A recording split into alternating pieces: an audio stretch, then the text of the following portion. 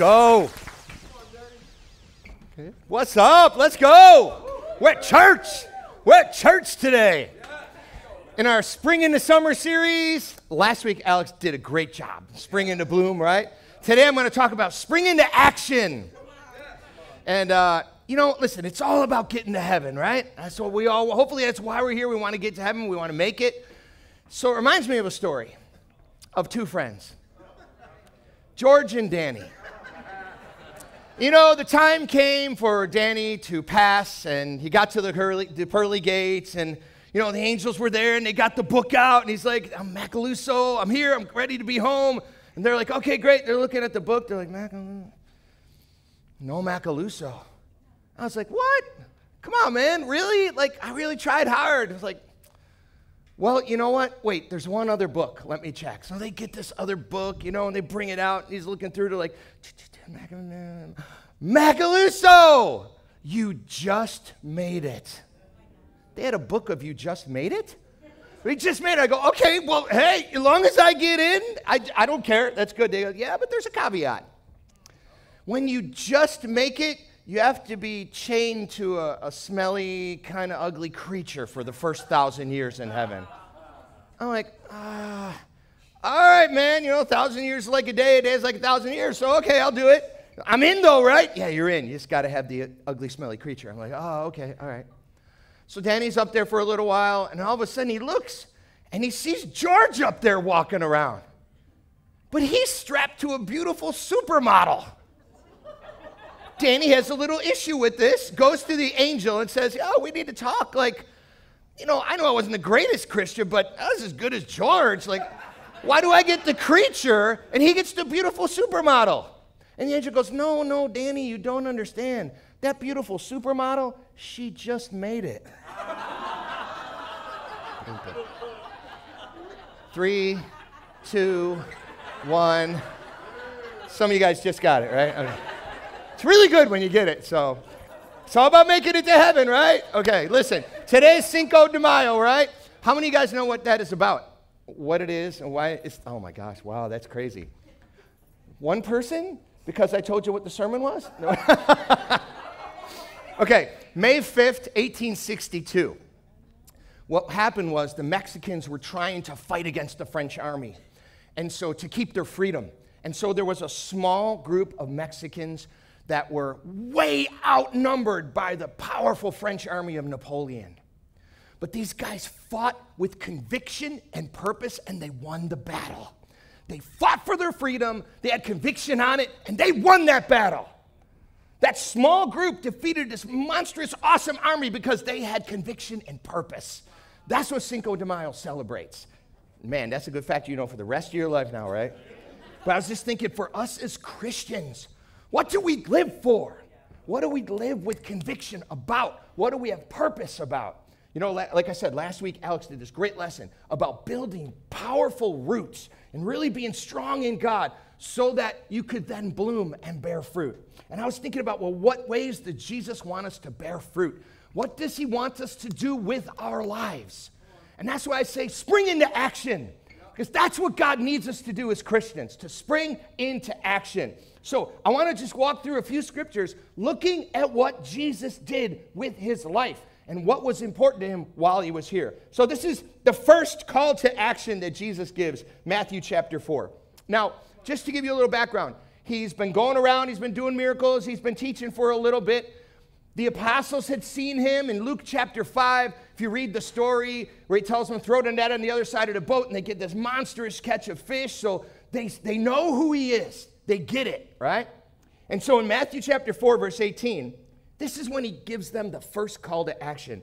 In verse 18, as he was walking along the Sea of Galilee, he saw two brothers, Simon, who was called Peter, and his brother Andrew. They were casting a net into the sea, for they were fishermen. Follow me, he told them, and I will make you fish for people. Immediately they left their nets and followed him. Going on from there, he saw two other brothers, James, son of Zebedee, and his brother John. They were in a boat with Zebedee, their father, preparing the nets, and he called them. Immediately they left the boat and their father and followed him. Immediately they did it. This is when he gave them the call. He gave them a new purpose in life. They were fishing for fish. He said, Your new purpose is you're going to fish for men. You're going to be a soul saver and eternity changer. I'm giving you a new purpose in life. And they followed him immediately. Why? Because they knew him. You see, when you really know Jesus, when you get it, when you know who he really is, there's no hesitation. When the master calls you, this amazing miracle working man, when he calls, you go when you know him. Some of you guys, you hesitate. Some of you guys struggle because you got to focus on getting to know Jesus. When you know who he really is, there's no hesitation. You go because there's no one like him. Guys, he's saying spring into action. We're going to fish for men, Amen. giving them this purpose. Purpose is what I really believe so many of us strive for in our lives. We're looking for it for most of our lives. I mean, the devil is trying to trick us. He wants us to be about our house and our car and our money and our status and our popularity. That's all going to burn, folks. It's all going to burn. It will mean nothing. Your house will mean nothing. Your car will mean nothing. None of that means anything. How popular we are on earth means nothing when you face God. It's all about your relationship with Jesus. That's what you need to invest in. That's what's important. You know, I've seen these bumper stickers over the year, right? Whoever dies with the most toys wins. Life sucks and then you die. I mean, that's, that's not a way to live. God has so much more for us. Today, I ask you, what is your purpose in life? What do you truly live for? If someone looked at your calendar, what you do with your time, what would they see as your purpose? The most important things. What is your purpose? And I'll ask you this question What will your purpose matter in 100 years? What will it matter? Will it get you in those pearly gates? What will it really matter? That's, that's how we get deceived by the devil to think this stuff is important. It's just not. We're here for an instant. And it doesn't matter how much money you have or how you dress like popularity, nothing. It won't matter when you stand before God. He's going to be like, How's our relationship? That's what matters. And so he gives us this amazing purpose. I mean, we, we get to build an eternal legacy when we, are, when we make our life about reaching others for God. You're literally say, helping save souls. You're literally changing the eternal destiny of people with your life. It's what we get to be a part of. It's not a hassle, it's my favorite thing. I always wanted purpose, and God gave it to us to be fishers of men and women, to be out there making a difference. He calls us ambassadors for Christ. Man, we get to be ambassadors. We are representatives of heaven. That's better than the job you work now. That's better than your hobby. You represent the Almighty God. Come on now. That's pretty awesome stuff. That's the reason to wake up in the morning. And you just look at Jesus' life. So here's the first thing he calls them to. And then you just go through and you look at different scriptures. Luke 19 10. Jesus says, For the Son of Man came to seek and to save the lost. It's why he came. In Ephesians 2, verse 10, says, We are his workmanship, created in Christ Jesus to get a lot of stuff and drive nice cars. Oh, no, sorry. That's the compromised version of the Bible. Created in Christ Jesus for good works, which God prepared ahead of time for us to do. Mark chapter 1, verse 38 he said to them, Let's go to the neighboring villages so I may preach there too. This is why I have come. This is why he came. He came to make a difference eternally for people, to show them his life, to show them his love through dying on the cross. It's what he came for. And you know, as Christians, we're supposed to imitate Jesus. What does that mean for us? What should that look like in your life? Well, I think it's, it says what it should mean. When he asked them to be fishers of men, listen, number one, this is a need. Folks, look at the news. The world needs Jesus because it ain't working. Our college campuses are a mess right now, fighting over people that are trying to destroy each other, and the only person that's winning is the devil when humans kill each other. When humans are racist, when humans are selfish, he's the only winner. But we get so into, oh yeah, but it's about my thing and my thing. That's devil talk, man. That's not what God wants. This, it's a need for us to be fishermen. It's a need for Christians to act like Jesus. It's a need for us to get out there. It's also a command. God commands us to do it. It's a plea on His behalf. Please help me find people and save them. It's a mission, but it's an honor and a privilege. We are called to spring into action. To do that, that's what He entrusts us with. That's what's so amazing. You know, with our church, I just, it was so cool. Dan was just doing the announcements. He was just going through the different groups in our church. I mean, I just get so inspired to see that every age, every group can have purpose. You know, our 412 group, I, I know that Alex and Lydia and Liana, Luke, and Michael, they, man, they just have a vision to help their campus know God, to help their friends know God, to help young people come to faith. They live with purpose and they have a blast doing it. It doesn't have to be miserable. Like, oh, I got to share my faith. Uh, I'll go to hell if I don't. Uh, people are to think I'm a Jesus freak. What are people to think? Well, you want to know what they think. That's the point. And so, man, they're having a blast though. I mean, come on, what other ministry is making candy salads? Come on. Man. Like, yeah, that's just torturous to be a part of, making candy salads. I'm like, it's pretty impressive. You know, our Thrive group, Thrive in the house. Woo! Thrive, they're, man, these guys are on fire. Our young professionals, post college ministry, they're, man, they're always out doing stuff, playing in football leagues, basketball leagues. They've been playing in a pickleball league. Yeah, right? It's awesome. It's like, and now we're entering into the realm of kickball. I had to finagle my way to be the coach. It's, it's not gonna be around it, right? You know, I had to retire from football. Yesterday, I posted the kickball stuff on my Facebook, and my one friend played football with goes, You quit football to play kickball? I'm like, I'm not playing football. I'm not playing kickball. I'm just coaching.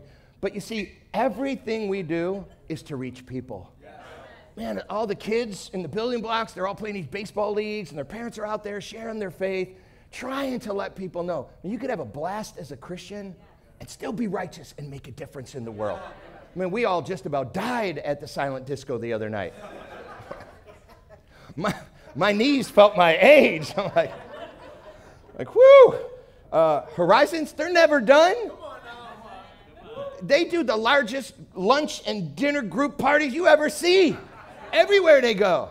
Spencer is still out there going to open mics, doing their. I mean, it's like every part of our church is trying to be involved with their purpose to make a difference in their life. That's, that's what it's all about.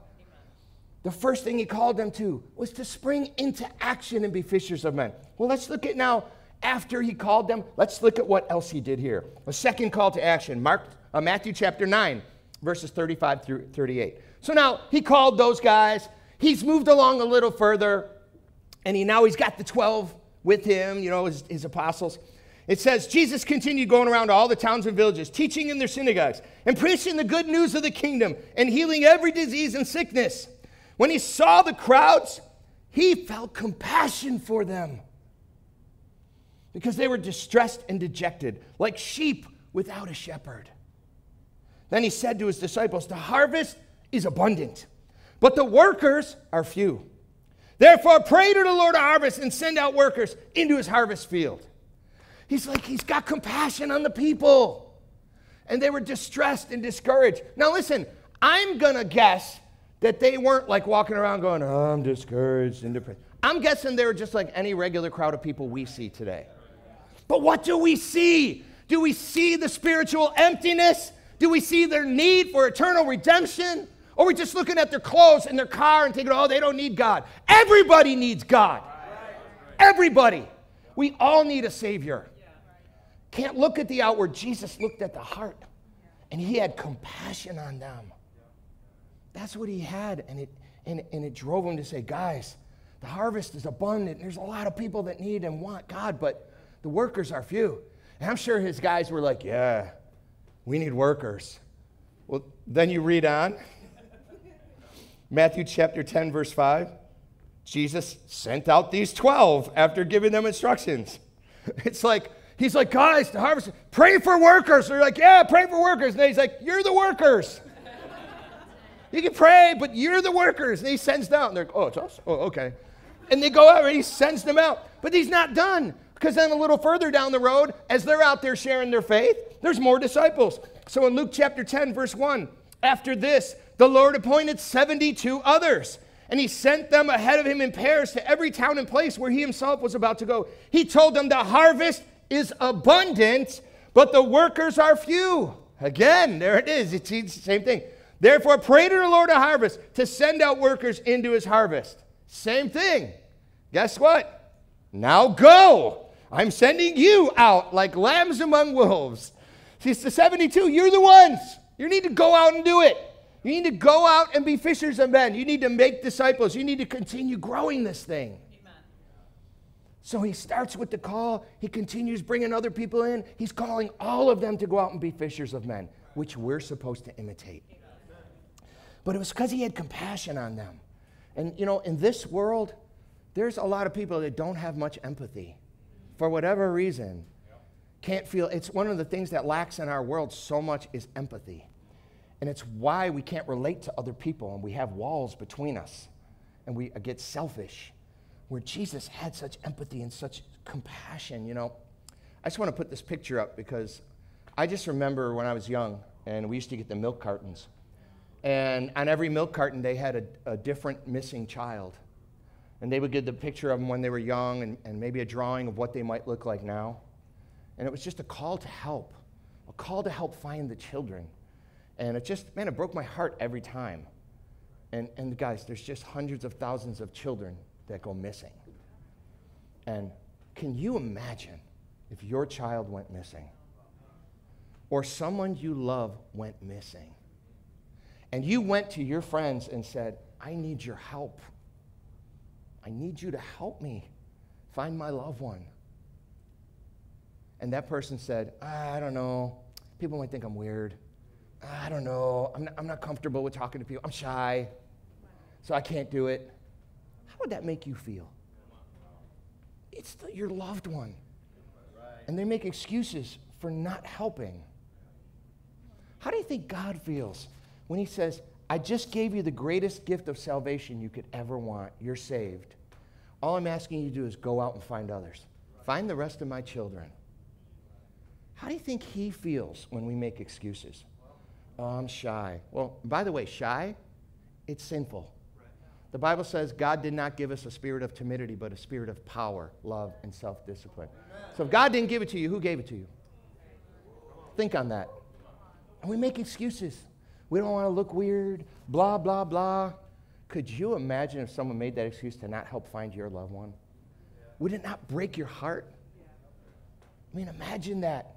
The next time you know you should share your faith with that checkout person, or you know you should share your faith with this other person, and you, and you wimp out. Think about that. Because that's what God wants us to have. He wants us to have compassion. He's asking for our help. How can we accept the gift of his son's death on the cross for us and then not pay it forward. This is what God wants. And, and the thing is, it's so awesome because you literally get a purpose, a reason to wake up every morning. You might hate the physical job you do, you might face injustice at work, you might have relationship problems, but you get to help the creator of the universe change eternal destinies. Let's go! Man, that's fired up. You know, I want to challenge you to read a book. It's called The Master Plan of Evangelism. I remember I read this as a brand new Christian, and it's amazing. And it just talks about the master plan and how when Jesus came to the earth, everything he did was to build the mission, to help more people know about him, to train the ones he was with, to go out and do that after he was gone, and then for them to train other people to do it. It's an amazing read. It's a short read, but it's so inspiring when you look at it and you're like, wow, I just, I don't think about that. Everything he did was for that. You know, helping people with physical needs is great. And there's a lot of people that love to help the poor and do that. And you know what? We need to. But there's a lot of Christians that will do that and not share their faith. You know what that is? When you just help them physically and not spiritually, all you're doing is fattening them up for the kill. I'm sorry to say it that way. But if we're just going to deal with physical needs and not spiritual, that's really what's happening. We need to do both. And our purpose is to help people get to heaven. We got to spring into action. We are the army of God, right? I mean, it's, it's what we're all about. Everything we do should be about purpose. You know, I, I, I had to stop playing football because I broke my shoulder last year. Most of you guys know that was my favorite ministry. A bunch of you guys are here because you were met in that ministry. Um, but so I had to figure out something else to do. Tracy's like, you should go back to playing music. I'm like, yeah, okay.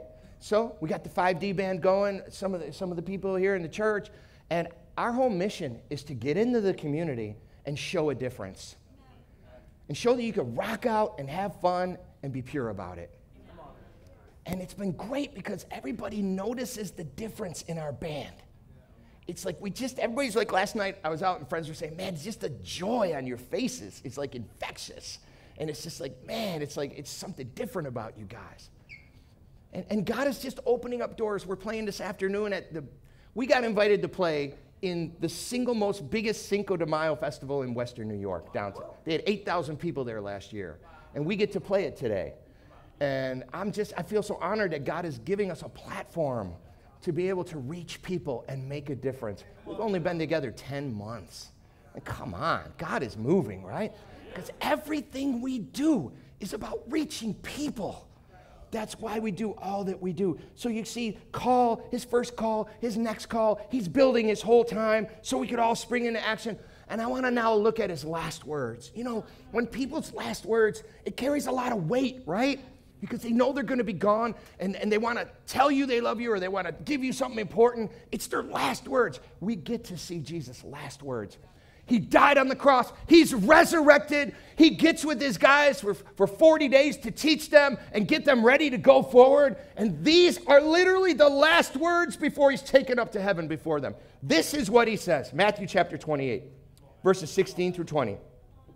The 11 disciples traveled to Galilee, to the mountain where Jesus had directed them. When they saw him, they worshiped him, but some doubted. I always thought this was odd.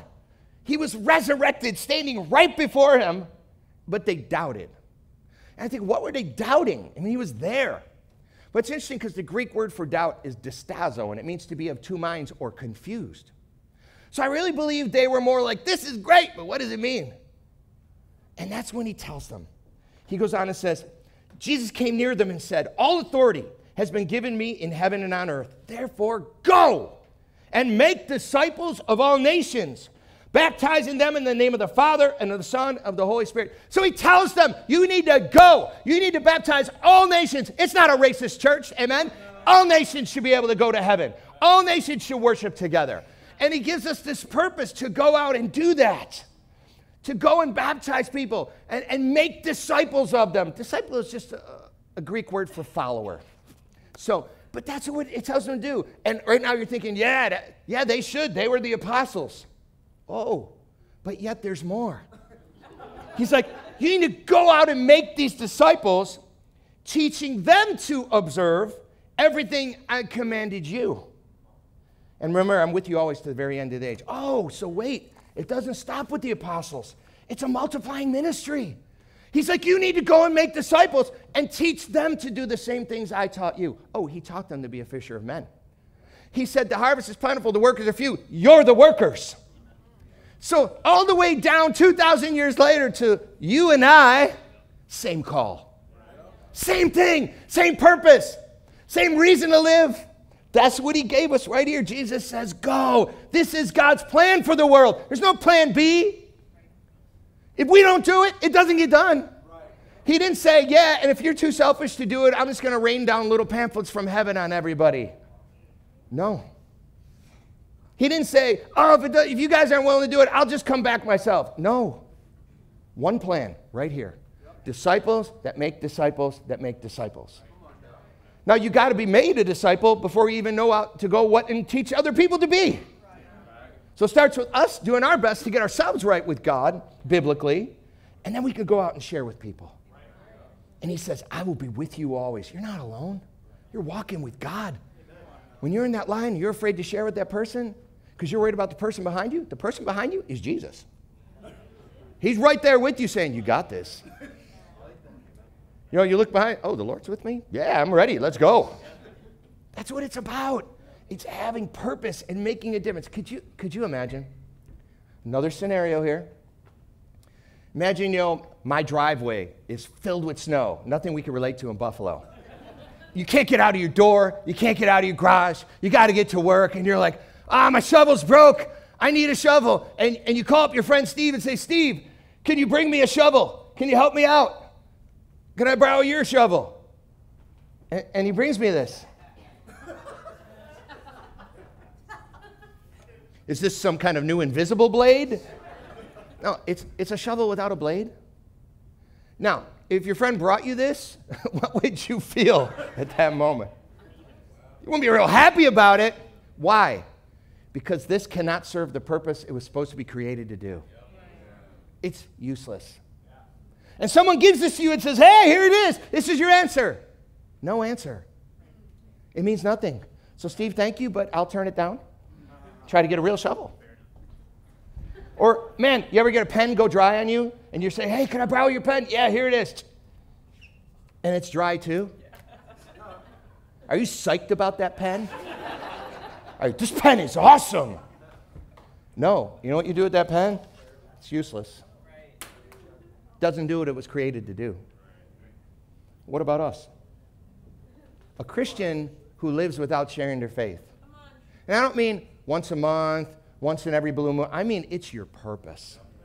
It's what is most on your heart. It's what you spend your time doing. I love sharing my faith every day, everywhere I go. That's why I live. I love it. Not everybody responds great, but some people do. And some of you guys are here today because of that. Guys, that's what we we're created to do to live with a purpose. You can't call yourself a Christian and make excuses for why you don't share your faith. Your whole purpose in life is to make disciples. If we're not about that, how does God feel? And the truth is, it's a command. It's really not an option. People say, oh, it's not my gift. You know, that is a convenient excuse to get out of anything you don't want to do. It's not my gift. Yeah, there are people that are gifted at certain things. But if God said, you have to share your faith today with somebody or you're going to hell, oh, all of a sudden you'd have the gift. All of a sudden, man, you'd, you'd have the gift, right? Oh, yeah, I got the gift. I got it today. Well, if you got it today, you can have it tomorrow and the next day and the next day. Come on, guys. You know you can do it. You know we can make a difference in the world. You know we've got to make a difference in the world. Our room is diverse for a reason because our church reaches out to all people at all times, all opportunities, so we can help get each other to heaven and make a difference in the world around us. What are you living for today? And what will it mean in a hundred years? Physical stuff means nothing. All that matters is where we stand with God and did we make a difference doing it. His first call was a call to action. His next call was a call to action. All he did the whole time was teach them to a call to action. In his very last words, he could have said anything. He said, Go and make disciples. Spring into action. See, at the end of your life, and a lot of times you see people's gravestones, and it has their, their birth date, and then a dash, and their death date. The only question we need to ask ourselves at the end of life is what did I do with my dash? What did I do with my dash? You know, when I get to heaven, I want there to be a tree of life that came from me sharing my faith. You know, I remember when we were in Philadelphia, we were baptizing people, sharing our faith abundantly. And then we came to Buffalo and we were here for a few years. And this kid shows up at church service and he's like, Hey, Danny. I'm like, Yeah. Acting like he knew me. I'm like, What's up? He's like, Hey, I'm Dan Akram. I'm like, Oh, yeah, what's up? He goes, You're my great grandfather in the faith. I'm like, What? He goes, Yeah, because you shared your faith with this guy, and he shared his faith with this guy, and that guy shared his faith with me. So if it wasn't for you, I wouldn't be here. I'm your great grandson in the faith.